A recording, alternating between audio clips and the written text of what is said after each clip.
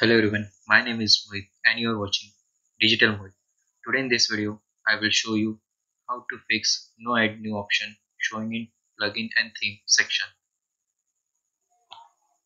Uh, if if you are not seeing add new option in WordPress dashboard, then I will show you how to fix or resolve this problem. Go to your hosting platform.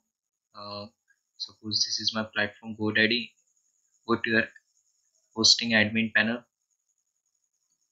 Go to your hosting platform and open cpanel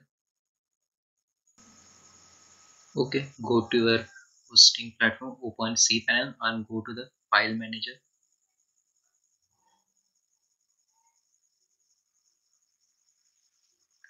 Then after go to the wordpress installation. You will see your wordpress file. In this section go to wp configure.php file and open this file through code editor.